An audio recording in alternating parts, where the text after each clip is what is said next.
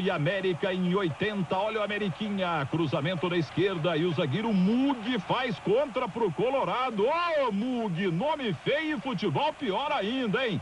Segundo gol do Colorado, que hoje é Paraná Clube. Ari Marques cobra falta e após a confusão, Tchau Marçal completou para o gol 2 a 0 Colorado de Curitiba. Esse Tchau Marçal já fez gol na vida também, mas sumiu.